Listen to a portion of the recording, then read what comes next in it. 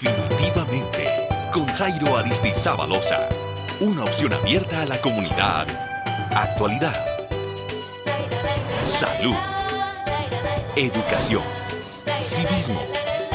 Cultura. Y medio ambiente. Un espacio de opinión con alma social, donde nuestros televidentes e invitados tienen la palabra.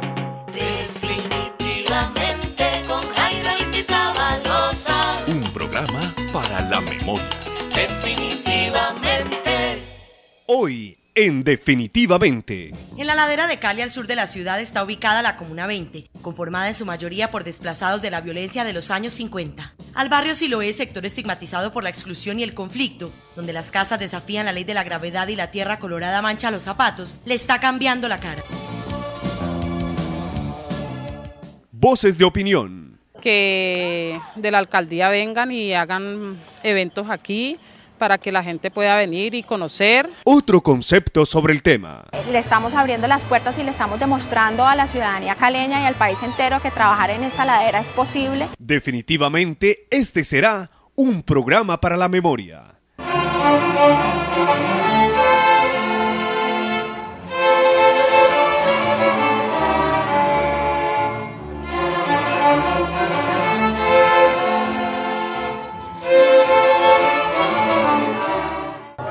Un agradecimiento profundo a esta comunidad, esta comunidad.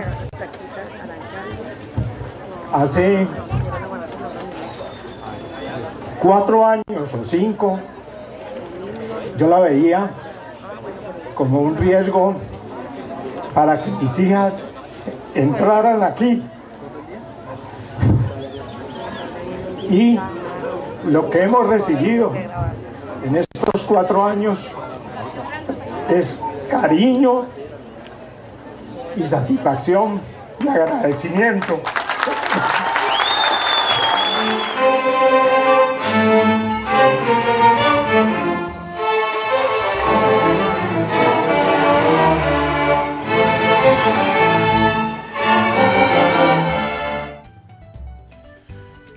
Todas, a todos un saludo lleno de amor, porque el amor es fuerza, el amor es poder, el amor es el poder de los poderes.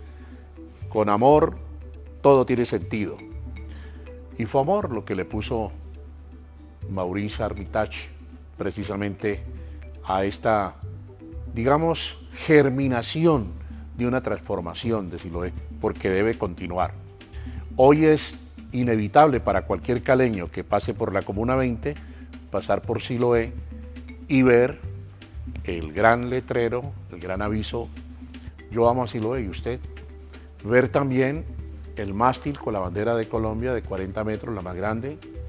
Ver centenares de casas blancas pintadas. Y ver la transformación de Siloé. Ese es el tema del día de hoy.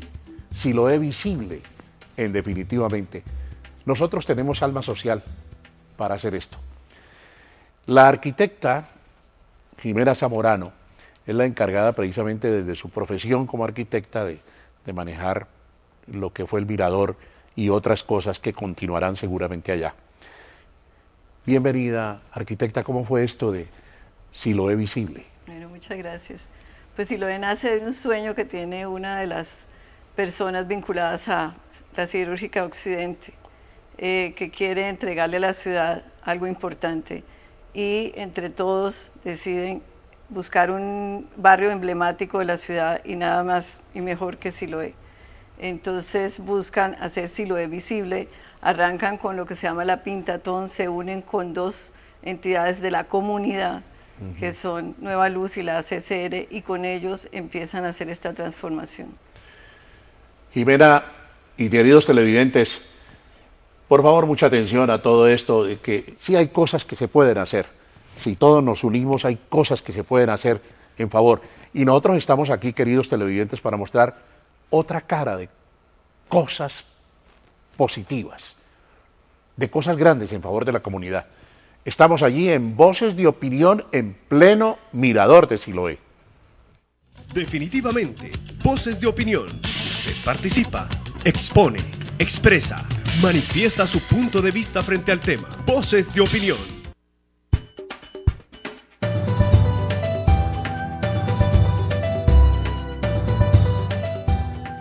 La diferencia es que podemos ahora hay más unión, más que todo con los muchachos, porque anteriormente era un barrio deteriorado. Si lo ve, pues está muy transformado, está muy bueno. Ahorita lo que eh, hay que echar para adelante, hay que ver a ver cómo se va a hacer con el, con el parque, el tal mirador que se, no, se llama ahorita. Uy, mucha diferencia porque antes pues esto estaba, eso fue una catástrofe que hubo antes y hubieron muertos y todo eso y pues eso que va ahí en eh, pues como muerto eso, pero pues vino una fundación Ciro y nos ha hecho esto que es una grande maravilla para nosotros porque los muchachos se recrean. No, pues que mucha ya más confianza con otros pelados, ya hay Puebla con otros pelados, ya vienen a, a decir que ya más guerra ya no quieren vivir más, ya queremos ya estar en paz, ya queremos estar trabajando. El de ahora ya cambió con la ayuda de Ciro, con el nuevo parque. Primero que todo la inseguridad era terrible, todo el mundo hablaba mal de Siloé. En este momento el cambio ha sido formidable e inclusive esperamos que siga así, que el, en el futuro que ya alguien quiera no que ir a Siloé, que vaya con mucha confianza. Bueno, sí, yo creo que es maravilloso ver cómo la gente se ha empoderado de todo este proceso. Durante toda la construcción de este parque Mirador, yo amo a Siloé y usted, eh, trabajamos completamente con personas de la comunidad. Ellos se integraron, fueron los que construyeron el parque. Eh, nosotros simplemente los dirigimos y se apoyaron. O sea que es una obra para la comunidad, hecha por la comunidad. Eh, construir en una montaña como se lo ve, y entiendo que usted sabe más de eso que yo, que el terreno allá es, es difícil, la tierra, la cuestión geológica es muy complicada. Digamos, ya puede haber seguridad para algunas construcciones de, de Siloé. Bueno, ese, ese terreno donde se construyó este mirador era un terreno donde se ha producido un deslizamiento hace algunos años de unas viviendas, por, sobre todo por la fuga de agua. Allá, muy, allá es muy importante controlar el tema del agua. Nosotros iniciamos controlando el tema del agua y en la parte poster, superior hicimos un camino canal que recoge todas las aguas que bajan de la loma y por ahí las canalizamos hacia la parte baja.